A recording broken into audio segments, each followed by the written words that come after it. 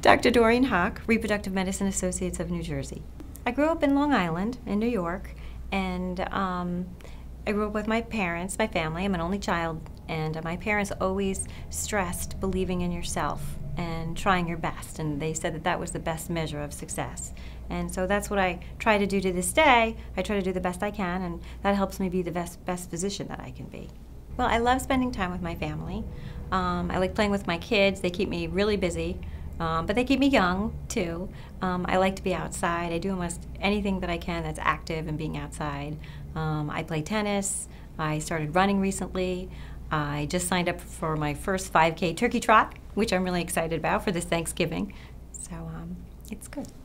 I'm an only child myself. And my parents wanted to have a bigger family, but they couldn't. So even when I was younger, that was a presence in my life. And I think that that makes me a little bit more sensitive to my own patients' experiences now.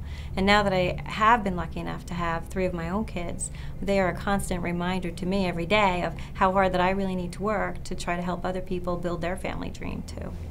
I went to college at SUNY Stony Brook in Long Island, and then I came to New Jersey for medical school. Um, I went to UMDNJ at Robert Wood Johnson, and because of its good reputation, and I had some family in the area as well, and I had such a good experience there that I decided to stay on for my training and during my residency and during my fellowship.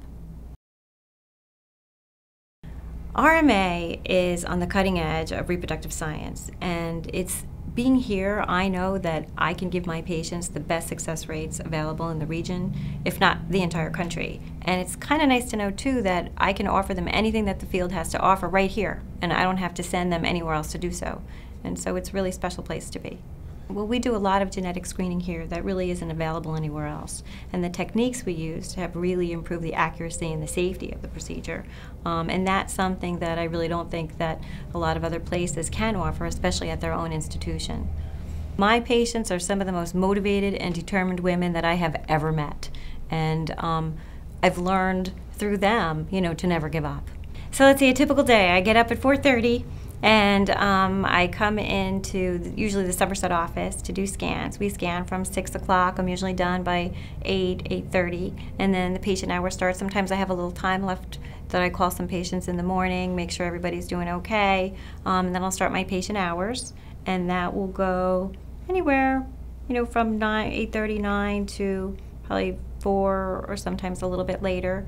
And then I try to get back to anybody that's called during the day, and I usually don't get out of there before six o'clock. Yesterday, I actually called two patients on the way home, um, just tying up some loose ends, making sure that they were okay with that day's results. Um, and I check in on days that I'm off. Um, I'm checking in online. We have a great system where you can check in remotely from wherever you are. Um, so I make sure that everybody's doing well, and I'll call them from wherever I am. I mean, a quick 10-minute phone call is worth so much anxiety that I can relieve from them. It's it's worth it 10 times over. I think it's really important to educate the patient, so I really try to do that. I try to give them a good understanding of the underlying reasons as to why they might be in the situation that they're in, and then I want them to really understand all the treatment options that are available, and when they choose one, I want them to know why we're doing certain things that, that we're doing. And I find that through that, it makes them really important in the decision-making process, and it keeps them really focused on, okay, I'm going to do this. You know, I'm going to be successful. We're going to make this work together, rather than having it be just me having it work for them. There's a lot of questions, but I think the one that I get asked the most is, what if? What if it doesn't work? And the answer is, there's usually something that always works.